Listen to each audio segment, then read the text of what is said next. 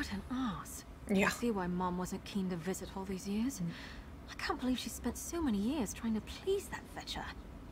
A lot of people try to please their parents. Don't I know? I suppose I should be more grateful to Mom and Dad for letting me be my own person. I had no idea.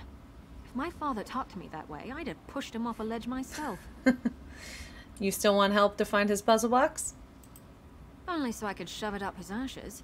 This is important to my mother. I'm doing this for her, not that old s'wit. Let's head